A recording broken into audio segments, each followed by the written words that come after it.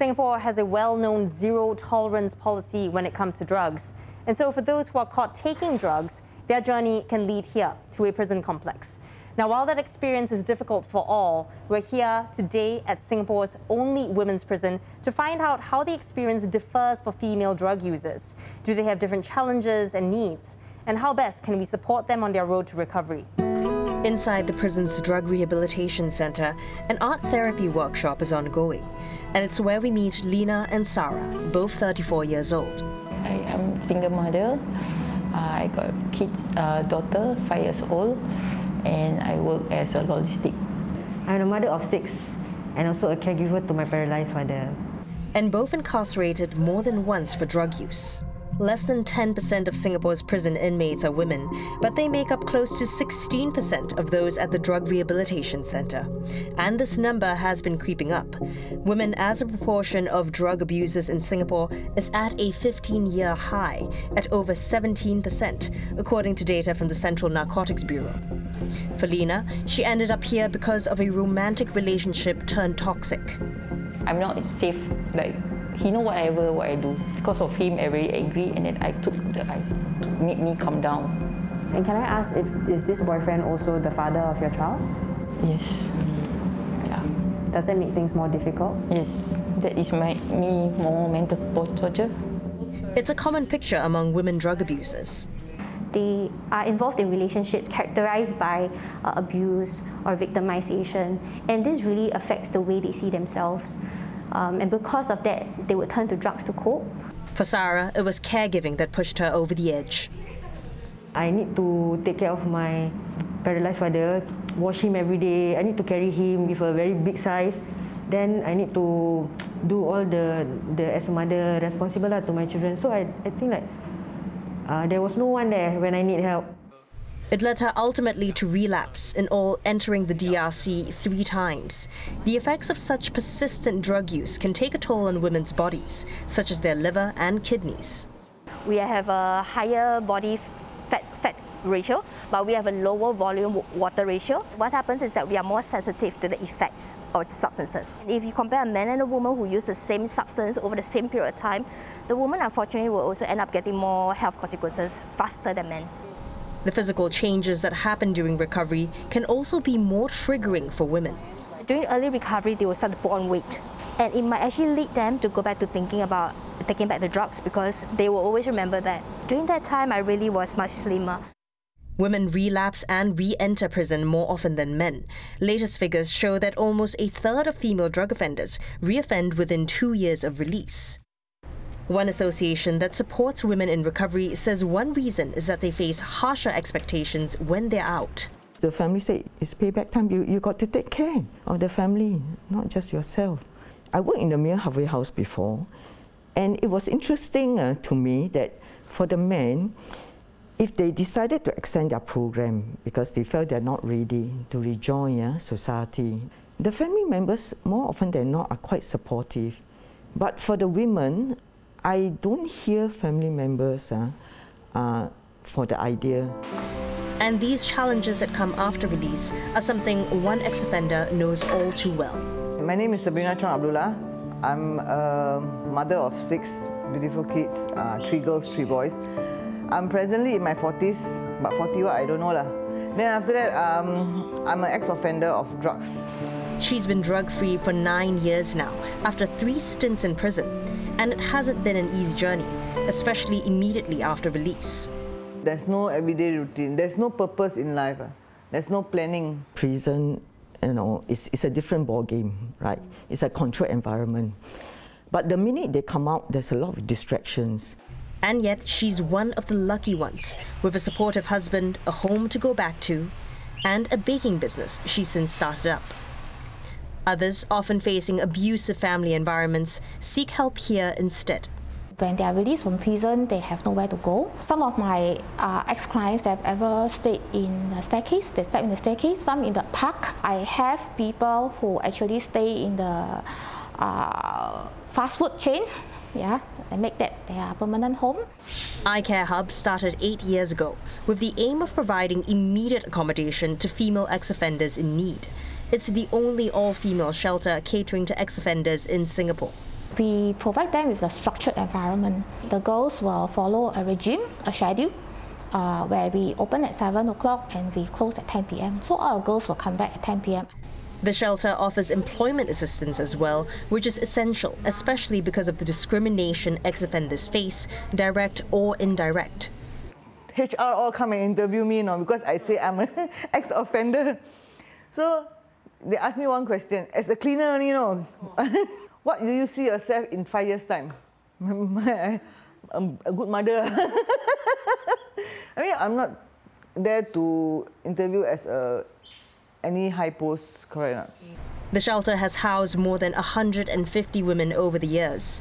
Next year, they say one of their main sources of funding will run out, and it will take another fundraising effort to keep operations going. But their work continues, in the hope that more ex offenders can eventually hit a steady state in recovery. Find joy again. What has been the most helpful for you in terms of staying in recovery? What has been? Um, baking. Uh. and a new beginning.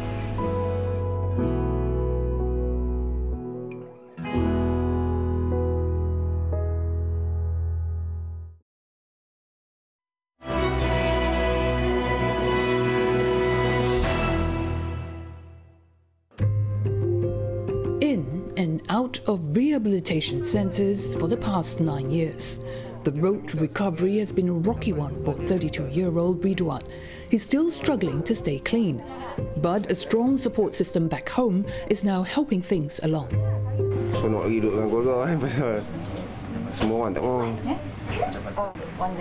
Ridwan, not his real name, is under the National Anti Drug Agency's home monitoring program. For the next two years, he must report to district office every two weeks for urine tests. He's done well so far. His mother, Sadia Raza, has been the rock in his recovery process. She told me that she's taken charge of making sure he keeps himself occupied and sticks to a routine every day, including praying five times a day, a spiritual commitment that's helping him stay focused and motivated. Kita minta-minta ni depa bubuh lah. Bawa umur dah meningkat kan, boleh fikir sendirilah. This time round, Sadia is optimistic, especially when she sees her son getting involved in the community, such as by repairing motorcycles in the village. Now, rehabilitation programs in the northern parts of Malaysia are giving recovering drug addicts more psychological and spiritual help. Member of Parliament Nurul Izzah, who visited Ridwan and his family in her Permatang Pauh constituency, says support such as Islamic spiritual intervention plays a key role in mitigating relapses. This has helped increase retention of the rehabilitation program by 30 percent. She's been actively promoting a holistic program called SIDA since 2018 to complement the anti drug agency's program by collaborating with local mosques and volunteers. Some 60 drug users have participated in pilot project so far. The module combines medication and counseling as well as daily recital of Islamic verses. Getting recovering addicts to be accepted by the community is a challenge, she said. Nurul hopes that the program will help destigmatize drug addiction, with the public recognizing it as a treatable illness instead of a crime, clogging up prisons and detention centers. We want to save not just the children, the parents, but the communities because everyone deserves a second chance, especially when they're striving to, to work so hard. But the prolonged isolation due to the extended lockdown saw many drug users under rehabilitation relapsing during the pandemic. Now, with movement restrictions and closure of mosques and places of worship, rendering social and spiritual support for drug users has gotten a lot harder for religious leaders and volunteers. The COVID 19 pandemic has thrown a wrench in drug rehabilitation initiatives around the country, setting some drug users back in the recovery process. Mother of five, Nurul Hidayah said her family has felt cut off from support programs since the pandemic struck. She and her husband have struggled with drug addiction for years. They've been getting back on the right track. But with the growing isolation and stress amid the pandemic, she's worried she might slip again. Susah lah sebab benda tu kita fry sebenarnya. Kita ikut hati, kita buat macam tu, kita ikut hati, lepas tu kita nak patah balik. Kadang-kadang kita dah malu. Kan, kadang-kadang kita tak ada siapa-siapa. Substance abuse is prevalent in these isolated villages in Pramatang Pao, and for some, it's a multi-generational issue.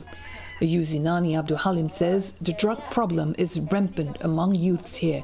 She herself fell victim as a teenager. Dulu Isak dengan suami, masa umur 16. Boleh buat kerja macam kuat lah. Hmm. She's been clean for more than two years now and is determined to stay on the right track so she can look after her grandchildren.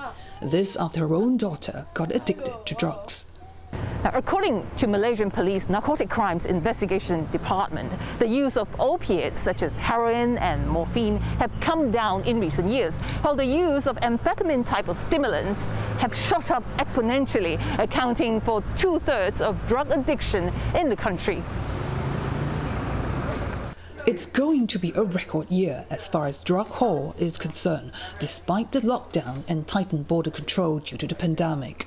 The country's anti-narcotic chief, Razarudin Husain, says the police have seized over 180 million US dollars worth of illicit drugs in the first eight months of this year. They include more than 6,000 kilograms of amphetamine known as shabu.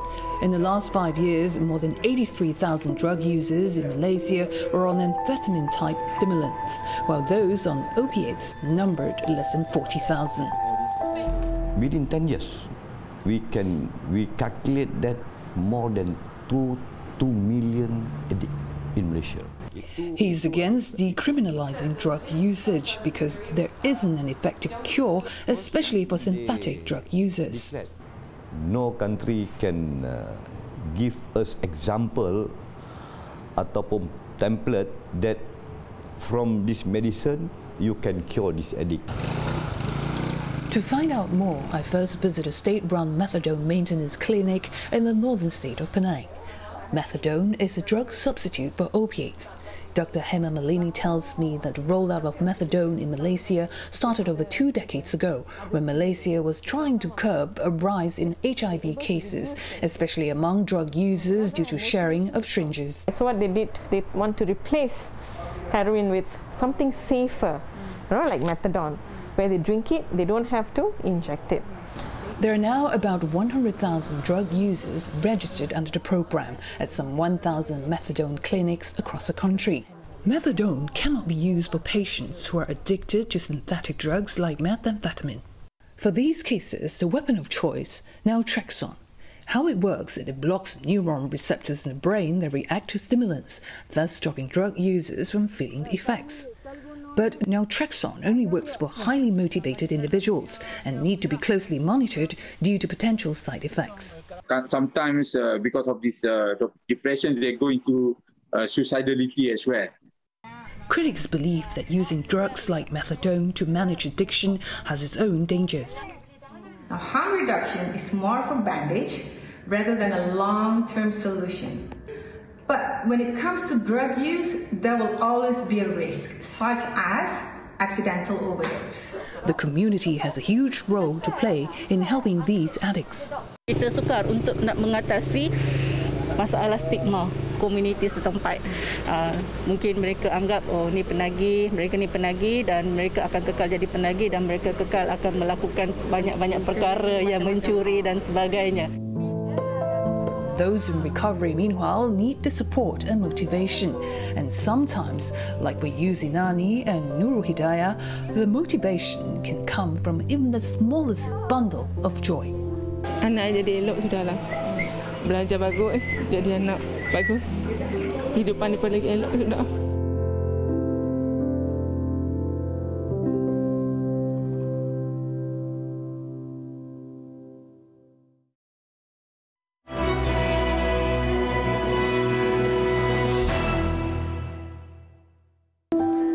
Um, for knock knock and then to tactics uh, for revenge for you, right?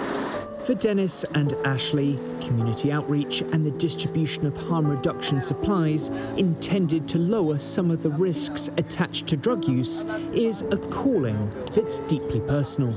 They've walked in the shoes of the clients they now serve. Ashley was once a sex worker, and Dennis has battled a crack cocaine addiction. I can't deal with this no more. I'm losing money. Mm-hmm. I'm feeling like myself. That's right. That's I don't want my kids to be looking at me like this. Dennis and Ashley work for Project Weber Renew, a non-profit based in Providence, Rhode Island. We have that personal connection, um, non-judgmental um, perspective on, uh, on their situation. So first and foremost, that connection is invaluable and it's almost impossible. It is impossible to duplicate. The organisation aims to better protect sex workers and offer assistance in areas ranging from sexual health to drug recovery and harm reduction. Dennis and Ashley are distributing harm reduction supplies, including clean needles and naloxone, a treatment for opioid overdoses, also commonly referred to as Narcan, which is a brand name. They also distribute fentanyl testing strips, so people can see whether the powerful narcotic, up to 100 times stronger than morphine, is cut into their drugs. We say use slowly, always use with a person, use with a person who has naloxone, all of these little tools so that the person knows that essentially there are ways that they can use safer. Of course, the ultimate goal would be to get the person to not use, but we recognize that that person in that moment might not be ready for that. So we need to give them those sort of middle messages that really can help keep them safe while they're still using. Harm reduction strategies aim to reduce risks associated with drug use. Advocates say these services are needed now more than ever. Here in the state of Rhode Island, there were a record 384 accidental overdose deaths in 2020. According to the Addiction Centre, it has the fifth highest drug overdose rate in the nation. Efforts are underway to try and curb that trend. In July, Rhode Island's governor signed a law making it the first US state to approve a pilot program for safe injection sites, places where people can go to use their pre-obtained drugs under medical supervision without legal consequences. Representative John Edwards was the House sponsor of the bill. I had a cousin, I had the daughter of a cousin die of overdoses. My wife had the same thing. She had one of her cousins die, and the daughter of one of her other cousins also died of an overdose. This is a, a crisis that we've got to stop. Now the bill has passed, an effort is underway to educate the public about this harm reduction method. Rhode Island's Harm Reduction Centre pilot programme is set to start next year. In the meantime, this exhibition has been created to give people a sense of what these spaces will look like and how they work. There are roughly 120 safe injection facilities operating in 10 nations, including Switzerland, Germany and Canada. They sign in, they'll wait, and then they'll be asked, it's their turn. So they come over, they'll grab their supplies, whatever they need, safety, um, clean supplies. They would go over to a table and they would use. Trained staff will be on hand at the overdose prevention sites, or OPS. There would be nurses and staff on site who have um, emergency supplies ready. The first safe injection site was opened in Switzerland in the mid 1980s. But in Rhode Island and across the US, the concept remains highly polarizing. What kind of a society do we want to live in? We set rules, regulations, laws, and parameters for our people to conduct themselves, to comport themselves. But yet, we will say, you want to chase the dragon or shoot up?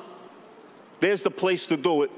We're going to protect you. We're going to have health people there for you, and we're going to pay for it. But Karen Moser believes her daughter may still be alive today if overdose prevention sites were available in 2018. Eliza died on her 26th birthday. She'd been in and out of treatment for years and had been in recovery for about 10 months. By the time we get her into an ambulance and she's off to the hospital, I was already thinking like, um, why was she using alone? Why don't we have places that she could have had someone supervising? Ava was at home, sick, the day her sister died. Her brother Jackson was just 14 when he came home to find Eliza unresponsive on their living room sofa. I don't think it should be the responsibility of siblings and family members to have to administer Narcan to save a family member's life. because it's not, it shouldn't be their responsibility when there are people who know how to do that, who are trained how to do that, and there can be facilities where people can do that safely.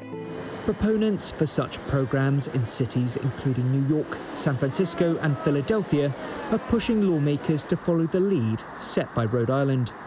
Rhode Island may be the first to pass statewide safe injection site legislation, and advocates hope it won't be the last.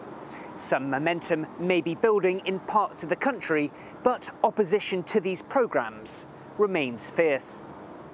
Efforts to open a supervised injection site in Philadelphia was sidetracked at the start of the year when a federal court ruled it would violate a 1986 law known as the Crack House Statute. That law outlawed spaces being used to manufacture or use illegal substances. Critics say safe injection sites can increase crime in the surrounding area and encourage drug use. Claims advocates reject and argue such facilities provide greater access to treatment services. Analysts say community resistance and the sheer scale of drug addiction in the US could be barriers to the success of such programs. Fortunately, the, the supervised facilities would tend to attract the people with the greatest chance of fatal overdose uh, so that they would have a somewhat disproportionate effect in in uh, reducing fatal overdoses, but it, it's still not a solution you can scale up to the size of the problem. Drug overdose deaths rose 30% last year compared to the year before. More than 93,000 people in the US died from overdose, according to the Centers for Disease Control and Prevention. Back in 2006, New York State made it legal for non medical professionals to administer Narcan. That means anyone in the state can carry it if they've received training on its use. Since then, the state has taken steps to make it more accessible. Last year, bars and restaurants were added to the list of businesses allowed to administer and possess it. As drug overdose deaths soar, some believe more training on how to use this life saving treatment is required the more people that understand and know of it, the better off it is, the better off the population is. And it's, it's not just our population, but anyone who's on an opioid regimen. As the US continues to try and scale back the number of drug overdose deaths, stigma is seen by many as a persistent barrier. Those pushing for new ways of combating the crisis believe that stigma is costing lives.